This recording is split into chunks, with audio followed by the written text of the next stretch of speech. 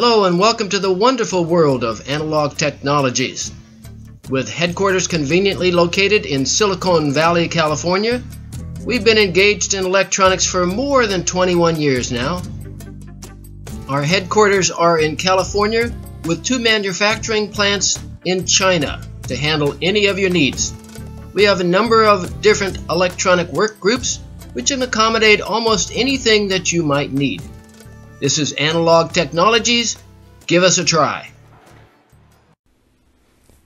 Hello, my name is Dennis. I'm one of the engineers in the electronics department, and today I'm going to be introducing you to the new ATI TEC module number ATE1-31. This series of TEC modules, the ATE1-31, has 31 pairs of elements inside with a maximum voltage of 3.9.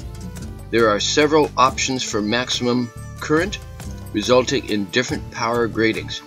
They are designed for regulating the temperature of target object precisely and can be controlled by our TEC controllers to build highly stable and efficient temperature regulating systems.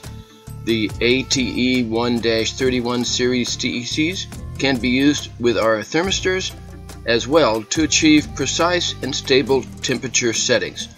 We also have many other products on our website available. Give ATI a try. You'll be happy you did.